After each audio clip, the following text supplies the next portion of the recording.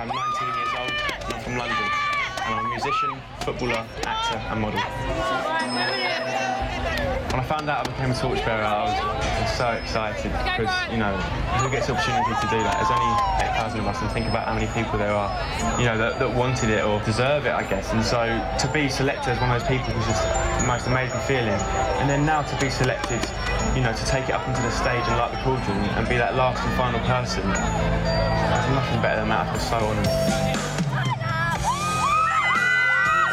think I've been nominated to be a torchbearer because, you know, the achievements I've done so far, I think they sort of represent the dreams of most teenagers. You know, having a number one in the classical charts, uh, to be able to play football with a Premiership football team like West Ham, and I've just started my first film as well uh, as an actor. So to be able to do all those things and have those achievements, I think it just shows that, you know, anything is possible, and that's what I want people to, to see and understand.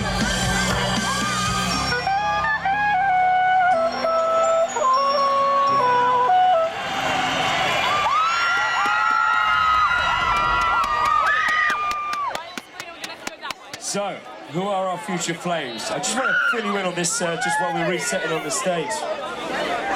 From about 8,000 people who got to carry the torch right the way around the country, there are 1,300 youngsters, inspirational young people, who were chosen by Coca-Cola to be our future flames.